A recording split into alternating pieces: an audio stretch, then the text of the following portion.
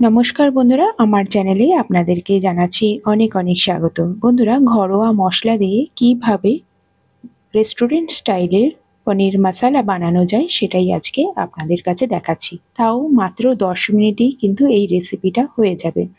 বাড়ির ছোট, বড় সবারই কিন্তু ভীষণই ভালো লাগবে। তাহলে ভিডিওটাকে শুরু করছি। বন্ধুরা, আমি গ্যাসে একটা প্যান বসিয়ে দিয়েছি, এখানে এক চামচ রিফাইন তেল দিলাম। রান্নাটা আমি কিন্তু খুব কম তেলেই করছি। আর এখানে দুটো মিডিয়াম সাইজের পেঁয়াজ কেটে নিয়েছি। এখানে চার থেকে পাঁচ কোয়া রসুন আর পরিমাণ মতন কাঁচা লঙ্কা আর একটা টমেটো আমি দিয়ে দিলাম। গ্যাসের ফ্লেমটাকে কমিয়ে রাখছি। এবার এর মধ্যে দিয়ে দিলাম দারচিনি আর এলাচ। এখানে আমি দুশো গ্রাম পনির রান্না করব। আর এখানে দিয়ে দিলাম আট থেকে দশটা কাজু বাদাম। কাজু বাদামটা টুকরো করা, তাই এখানে বেশ কিছুটা দিয়ে দিয়েছি। এখানে ভালো করে নাড়াচাড়া করে দিচ্ছি আর এর মধ্যে দিয়ে দেব নুন। নুনটা দিলে মশলাগুলো কিন্তু একদম নরম হয়ে যাবে, তাই এর মধ্যে কিন্তু নুনটা দিতে হবে। দিয়ে ভালো করে নাড়াচাড়া করে ঢাকা দিয়ে বেশ কিছুক্ষণের জন্য রেখে দেব। এখানে এক চামচ আদা বাটা আমি দিয়ে দিলাম। এটাকে ভালো করে নাড়াচাড়া করে নিচ্ছি। এবার ঢাকা দিয়ে বেশ কিছুক্ষণের জন্য রেখে দেবো। যতক্ষণ না টমেটো পেঁয়াজটা নরম হয়ে যায়। দেখুন, টমেটো পেঁয়াজটা কিন্তু একদম নরম হয়ে গেছে। এবার গ্যাসের ফ্লেমটাকে মিডিয়ামে রেখে ভালো করে ভাজা ভাজা করে নেব। ভালো করে নাড়াচাড়া করছি। গ্যাসের ফ্লেমটাকে মিডিয়ামে রাখতে হবে। দেখুন, এর কালারটা কিন্তু একদম ধীরে ধীরে চেঞ্জ হয়ে যাচ্ছে। পেঁয়াজ, টমেটোটা কিন্তু খুব ভালো করে ভাজাও হয়ে গেছে। এবার এটাকে তুলে নিয়ে ঠান্ডা করে মিক্সি জারে আমি দিয়ে দিচ্ছি। মিক্সি জারে দিয়ে দিলাম, এটাকে ফাইন পেস্ট করে নিতে হবে। এবার এর মধ্যে দিয়ে দেব টক দই। এখানে আমার ঘরে পাতা টক দই দিয়েছি। এখানে এক বাটি পরিমাণ আমি টক দই দিয়েছি। এখানে প্যানের মধ্যে দিয়ে দিচ্ছি তিন চামচ রিফাইন তেল।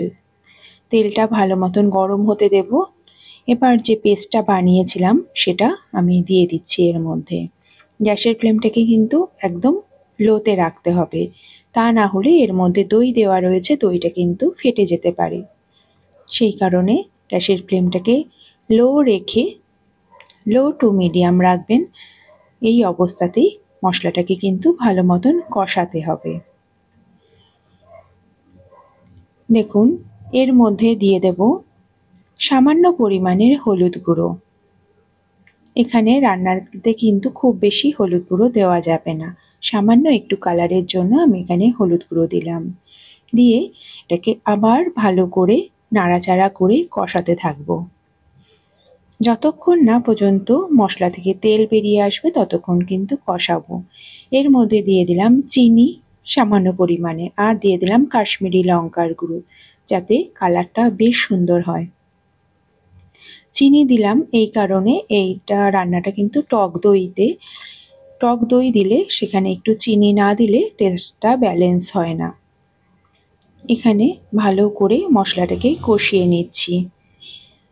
খুব ভালো করে কষাচ্ছি গ্যাসের ফ্লেমটাকে লো রেখে। দেখুন, তেল কিন্তু বেরিয়ে এসছে। আমি কিন্তু খুব কম তেলে কিন্তু রান্নাটা করেছি। এবার পনিরটাকে টুকরো করে নিয়েছি, সেটা আমি দিয়ে দিলাম।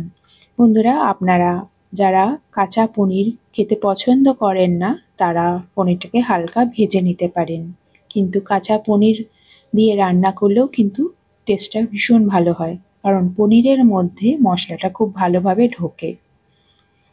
এবার মিক্সিটা ধোয়া জলও আমি কিছুটা দিয়ে দিলাম। দিয়ে এবার ভালো করে গ্রেভিটাকে একটু ফুটিয়ে নেব।